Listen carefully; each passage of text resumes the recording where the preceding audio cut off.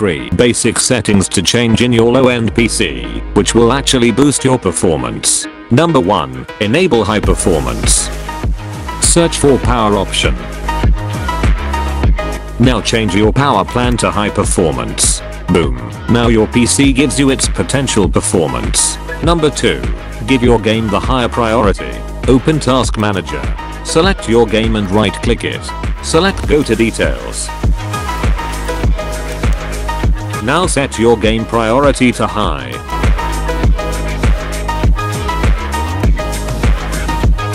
Now your PC grants the highest priority to your game. Number 3. Disable background running apps. Open Task Manager. Now right click on your unwanted running app and click end task. Disabling the background running apps will not distract your game anymore. Subscribe to Chill Thirty for more PC optimization and gaming contents.